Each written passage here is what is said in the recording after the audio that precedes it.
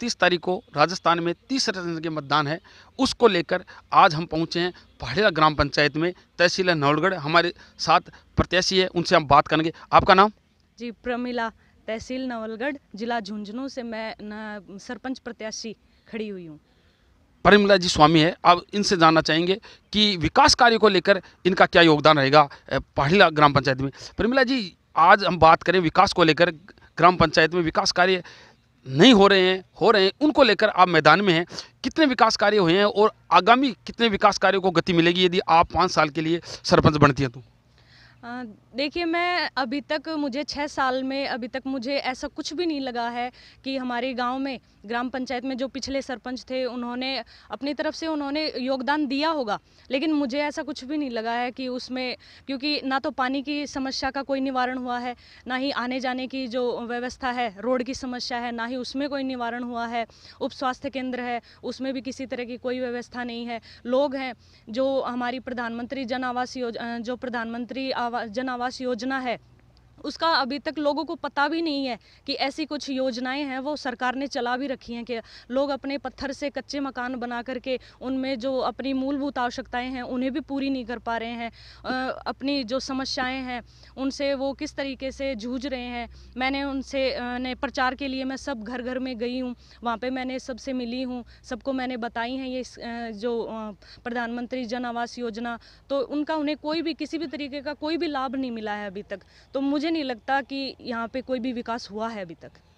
आप पढ़ी लिखे कितना पढ़े पढ़े हो आप? जी मैं B A M M Ed हूँ B A M M A है और ये प्रत्याशी के रूप में है। जैसे कि अपन सार्वजनिक शौचालय की बात करें सार्वजनिक शौचालय को लेकर आपका क्या रहेगा? जी सार्वजनिक शौचालय हैं कि मतलब आज हमारी दुनिया है देश है वो कहाँ से कहाँ पहुँच गया है लेकिन यहाँ पे गाँव में अभी तक ऐसा कोई भी विकास नहीं हुआ है। डिजिटल जो है, वहाँ से हमारा देश है, वो जुड़ा हुआ है। लेकिन गाँव हैं अभी तक वैसे ही बैकवर्ड एरिए जैसे ही हैं अभी तक। तो जो सार्वजनिक शौचालय हैं छोटी छोटी मूलभूत आवश्यकताएँ हैं ये तो सार्वजनिक शौचालय हैं, वो अभी तक यहाँ पे कोई भी चौराहे पे, तिराहे पे या कोई बस स्टैंड है, वहाँ पर ऐसी कोई सुविधाएँ नहीं है। तो ये सारी चीज़ें मैं करवाऊँगी। अपन पढ़ला गाँव की बात करें ग्राम पंचायत की बात करें हमेशा यहाँ पानी की समस्या नहीं है। आपका खास मुद्दा हमेशा यही रहा कि पानी की समस्या को दूर करना। आपका खास फोक्स क्या रहेगा कि पढ़ला में कैसे पानी की व्यवस्था की जाएगी? जी यहाँ पे सब लोग हैं उन वो पानी की उन्हें बहुत ज़्यादा समस्या है। तो यहाँ पे ट्यूबवेल है उसका निर्माण करवाया जाएगा और सब लोगों से सब लोगों के पास पाइपलाइन से और अच्छे तरीके से शुद्ध पानी की व्यवस्था करवाई जाएगी। परिमला जगह ये कहना है कि पढ़ला गाँव में यदि ये जो व्यवस्था है पानी की व्यवस्था है सही नहीं है उसको दुरुस्त कराया जाएगा। अपने यदि सुरक्षा महिला सुरक्षा की बात करें सीसी टीवी कैमरे को लेकर बात करें तो क्या व्यवस्था रहेगी यदि जनता आपको मौका देती है तो? जी अगर जनता मुझे मौका देती है मेरे बड़े बुज़ुर्ग हैं वो मुझे अगर ये अपनी सम, समस्याओं का निवारण करने के लिए मुझे मौका देते हैं तो जो भामाशाह योजना के तहत सीसीटीवी कैमरे हैं वो मैं सब जगह जो तिराहे, चौराहे, बस स्टैंड, वहाँ पर इन सब की सीसीटीवी कैमरा की व्यवस्था ज़रूर करवाएँगे। इनका ये कहना है कि भामाशाह के द्वारा ये सीसीटीवी कैमरों की व्यवस्था करवाएँगी। अपन ये बात करें, पूर्व में ग्राम पंचायत से जुड़ा है, पूर्व सरपंच थे, उन्होंने पट्टे वितरण नहीं किए। आपकी, आपका क्या रहेगा? पट्टों, कैसे पट्टे वितरण करवाएँगे आप? जी, बिल्कुल, जिनके पास, जिनकी ज़मीन है, उनके अभी तक पट्टे नहीं हुए हैं तो उन्हें सबको उनकी ज़मीनें हैं, उनके हिसाब से उनकी ज़मीनों का पूरा विवरण देख करके अच्छे तरीके से अगर जिनकी जायज़ है, उनकी सबकी ज़मीनों के पट्टे ज़रूर करवाए जाएँगे। कई ढाणियों के अंदर सड़कें नहीं बनी हैं, निर्माण सड़कों कार्य नहीं हो सका है और सीसी रोड नहीं बन सकी है, गाँव गाँव मतलब जुड़ नहीं सका है शहर से। उसको लेकर आपकी क्या योजनाएँ रहेंगी? हाँ जी, बिल्कुल। मैं अभी इन दिनों में मैंने जब मैं प्रचार के लिए ढाणियों में, गाँव में गई हूँ, वहाँ पर पे, वहाँ मैंने देखा है कि लोगों के घर तक पहुँचने के लिए भी रास्ते नहीं हैं। लोगों के, दूसरों के घरों से जाना पड़ता है, दूसरों के खेतों से जाना पड़ता है। उनके पास अपने घर से बाहर ये रोड तक आने में बिल्कुल भी रास्ता नहीं है। सब लोग बहुत ही ज़्यादा समस्याओं से जूझ जूझ रहे हैं। तो इन सबको जो इनकी रोड है वो अच्छे तरीके से उनकी रोड का रास्ता निकाल के उनकी रोड का निर्माण करवाया जाएगा और उन्हें इन सड़क व्यवस्था का लाभ मिलेगा। अपन बात करें अतिक्रमण की क्योंकि ये रोड नहीं है सड़कें नहीं है ये व्यवस्था अतिक्रमण के कारण मतलब ये मामला उठता है। अतिक्रमण को लेकर कैसे निदान होगा इनका? जी बिल्कुल जो भी गैर गैर कानूनी रूप से जो ज़मीनें अपने हिस्से में लिए हुए हैं जिन लोग उन सब का मतलब ज़मीनों का पूरा जायज़ा लिया जाएगा डॉक्यूमेंट्स में उन सब का देखा जाएगा कि किसके पास कितनी ज़मीन है कित, कितनी ज़मीन सरकार के अधीन है कितनी ज़मीन लोगों की अपनी पर्सनल है। उन सब ज़मीनों का वितरण देख करके को इन सब समस्याओं से निदान दे के सबका लाभ दिया जाएगा। जैसे कि प्रमिला ने बताया कि जो अतिक्रमण कर रखा है लोगों ने, उसको हटाया जाएगा। जो गैर आबादी में है, उसको आबादी में कराना इनका प्रमुखता रहेगी, जिससे कि जो रास्ते हैं, वो लोगों तक पहुँच सके। रास्ता होना ज़रूरी है, क्योंकि गाँव के अंदर सबसे बड़ी समस्या थी अतिक्रमण को मामले को लेकर हमेशा रही है अपने यदि बात करें, आज प्रधानमंत्री आवास योजना की बात करें, कितना लाभ मिला आपके गाँव के? जी, बिल्कुल नहीं मिला, क्योंकि मैंने अभी तक मैं अपने नोरा गाँव की तरफ़ भी गई हूँ, पहाड़ीला गाँव में भी, आज मैं पहाड़ीला गाँव में ही हूँ। पहाड़ीला गाँव में भी मैंने देखा है, लोग, लोगों के पास रहने के लिए पक्की छत भी नहीं है। कच्चे मकान लिपाई पोताई वाले मकान हैं, उन कच्चे घरों में वो रह रहे हैं। रोज़ मतलब सर्दी है, गर्मी। गर्मी के दिनों में भी छत टपकती है। बहुत ज़्यादा परेशानी का सामना कर रहे हैं। मैंने उनका दर्द महसूस किया है। कई लोग तो मेरे सामने भावुक भी हुए हैं। मैंने उन सबसे वादा किया है कि आप लोग मुझे वोट दीजिए और जो मेरे बड़े बुज़ुर्ग हैं, उन सब का मेरे साथ आशीर्वाद रहा सबने मुझे जिताया तो मैं इन सब समस्याओं से उनको निदान ज़रूर दिलाऊँगी और जो प्रधानमंत्री जन आवास योजना है, उसका पूरा पूरा लाभ उन्हें ज़रूर दिलाऊँगी। अपन बात करें गंदे निकासी के लिए सड़कें बनी हैं आपके गाँव के अंदर, कहीं सड़क सड़क का निर्माण हुआ है, शीश रोड, मगर गंदा पानी आज सड़कों पर है, जिससे बहुत परेशानी पड़ रही है लोगों को। उसके लिए क्या व्यवस्था रहेगी? हाँ जी, बिल्कुल। मतलब पिछले जो हमारे सरपंच थे, उन्होंने नालियाँ लगवाई हैं, लेकिन उन नालियों का सही रूप से, सही अच्छे तरीके से, लेवल से लेकर के उनका कोई निर्माण नहीं हुआ है। तो कहीं पर जो बनाए जाते हैं, पुल बनाए जाते हैं तो उनमें सही तरीके से गंदा पानी है, वो निकल करके और बाहर नहीं जा रहा है। बीच में ही वहाँ पर रुक जाता है और कहीं पर लोगों ने अपने हिसाब से ही अपने चैम्बर बना रखे हैं, जिससे कि गंदा पानी है, वो नालियों से बाहर जाता है और लोगों को आने जाने की समस्या को अब बहुत ज़्यादा सामना करना पड़ता है। आप कैसे निदान कराएँगे?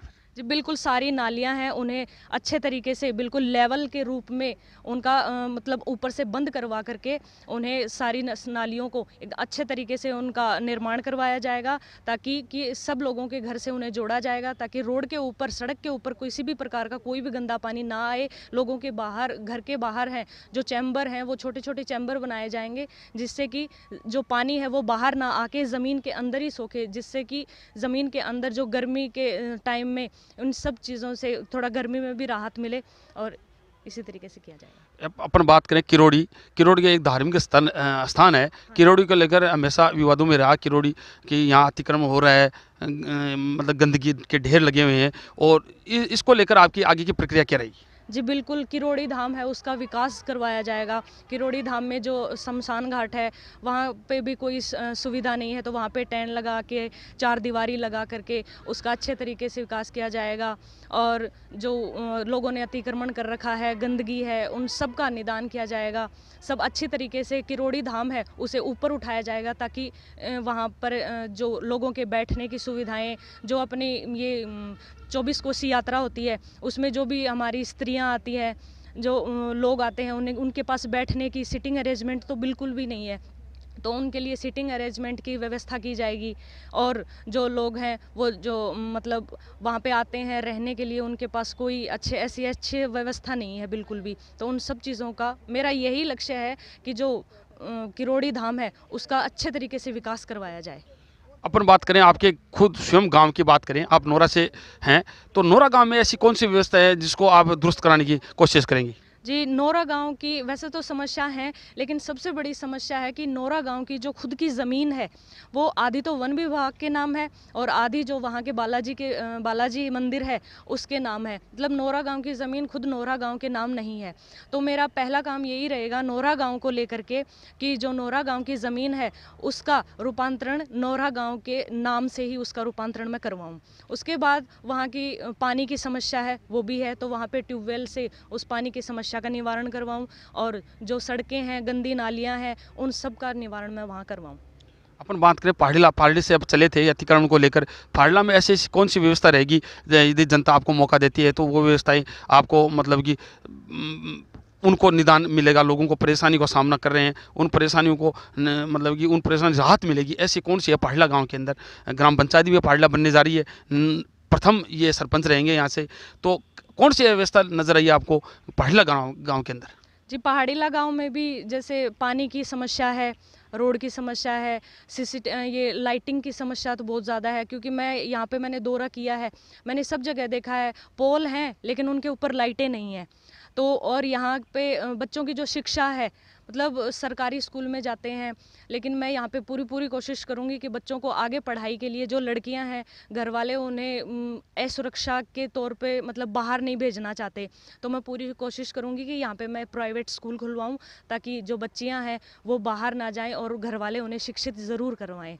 शिक्षा की बात आ गई शिक्षा की बात अपन करते हैं सरकारी भी कहते हैं शिक्षित शिक्षा होनी ज़रूरी है। शिक्षा को लेकर आपकी पूरी ग्राम पंचायत में खास क्या रहेगा जी शिक्षा के लिए ये कि मैं चाहती हूँ कि जो गरीब बच्चे हैं, बीपीएल परिवार के बच्चे हैं, उन्हें भी मैं अच्छी से अच्छी शिक्षा दिलवाऊँ। और जो पढ़ी लिखी औरतें हैं पढ़ी लिखी बच्चियाँ हैं, जो उनके घर वाले असुरक्षा की वजह से उन्हें बाहर नहीं भेजना चाहते तो मैं प्रधानमंत्री द्वारा जो जो योजनाएँ चलाई गई हैं, सुकन्या योजना, ऐसी कई योजनाएँ हैं, जिन्हें मैं लाना चाहती हूँ। सिलाई सेंटर वगैरह हैं, जो अपना वो खुद का काम कर सकें और अपने खुद से, अपने आत्मनिर्भर हो सकें। उनके अंदर से जो असुरक्षा की भावना है, उसे मैं ख़त्म करना चाहती हूँ। क्योंकि मैं खुद भी एक महिला हूँ, इसलिए मैं चाहती हूँ कि महिला है, वो सशक्त नारी बने। महिला सशक्त नारी बने।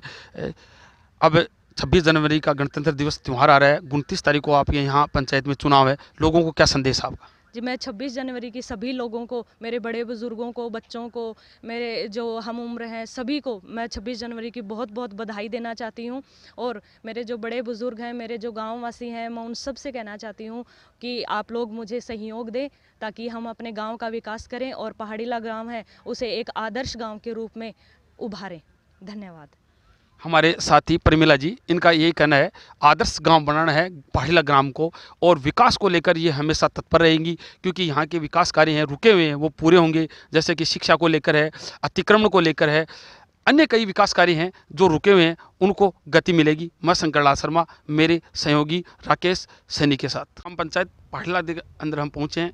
कुछ प्रचारक हैं जो प्रचार करने में लगे हुए हैं, हमारे बीच में हैं, उनसे जानना चाहेंगे कि पहला ग्राम पंचायत को कैसा सरपंच चाहिए? कुछ महिलाएँ हैं, उनसे बात करते हैं। कैसा सरपंच चाहिए आपको?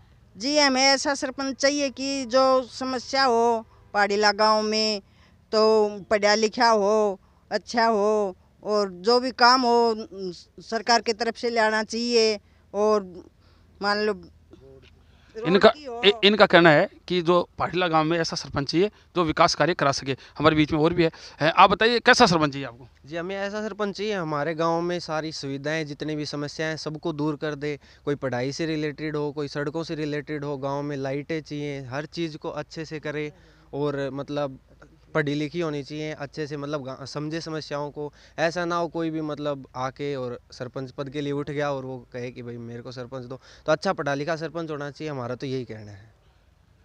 इनका यही कहना है, ऐसा सरपंच चाहिए जो विकास कार्य को गति दे शिक्षा शिक्षित हो और विकास कार्य करा सके। मैं शंकर शर्मा, मेरे सहयोगी राजेश सैनी के साथ।